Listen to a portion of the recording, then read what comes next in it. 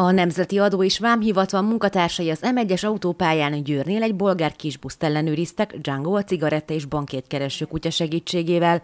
Az EBA jármű pótkerekénél szimatot fogott. Kollégáim az M1-es autópályán tartottak ellenőrzéseket, amikor egy bolgár honosságú gépjárművet vontak saját kockázatelemzés alapján ellenőrzés alá, és igénybe vették Django-t, a szolgálati kutyánkat, aki cigarettát, bankjegyet, illetve kábítószert is keres.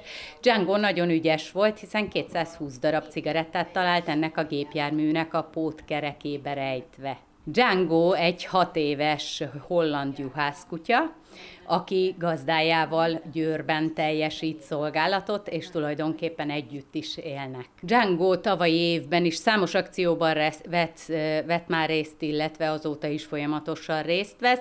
Tavalyi évben például 4000 doboz cigarettát talált egy gépjárműnek a kárpitjában, a gépjármű ajzatában, oldalfalában, úgyhogy egy nagyon sikeres kutyus a navnak. Django úgynevezett triál kutyusunk, aki cigarettát, bankjegyet, illetve kábítószert is képes kiszimatolni. Ez ilyen elkövető jövedéki törvénysértést követel, ezért jövedéki bírság kerül kiszabásra. A költségvetésnek okozott kettőtől ötszörösig szabható ki ez a jövedéki bírság például, és a későbbiek, tehát a dohánytermék lefoglalásra kerül, majd a későbbiekben megsemmisítésre, illetve az elkövető jövedéki bírságra számíthat, ami elég magas is lehet. Jelen esetben az egyik eset az 500 ezer forint körüli, a másik eset, ahol ugyanezen a napon 780 eh, doboz cigarettát is kiszimatolt Django a